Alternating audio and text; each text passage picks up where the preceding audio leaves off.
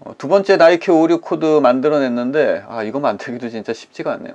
앞서 보셨던 오류 코드처럼 이거 역시도 결제 단계에서 나오는 거고요.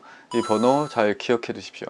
그럼 이 오류 코드의 해결 방법을 보면은 앞서 보셨던 오류 코드처럼 먼저 해봐야 될 게 장바구니 비우는 겁니다. 장바구니 비우고 다시 구매를 시도해 보면은 이거는 장바구니 비워서 해결이 안 됩니다. 보시는 것처럼.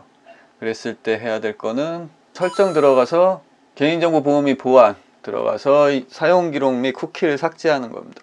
이전 리뷰에서 제가 오류코드와 관련해서 얘기를 했는데 어, 말 나온 김에 98D도 한번 만들어 볼까 하고서 이- 지금 한 일주일? 열흘 가까이 이것만 붙들고 있었거든요. 틈날 때마다. 뭐 리뷰도 많이 밀려 있는데 이거 도저히 안 되겠네요 이거. 이거 오류코드 만드는데 너무 힘듭니다. 시간도 오래 걸리고. 평소처럼 그냥 리뷰 하던 거 하고요. 뭐 틈날 때 오류코드 만들어 보고 그래 생긴다면은 그때 또 리뷰를 해보겠습니다. 뭐 최종적인 목표는 98D 그거 해결할 수 있으면 그거 영상 올리는 게 목표니까 그때까지 틈나는 대로 한번 올려보겠습니다.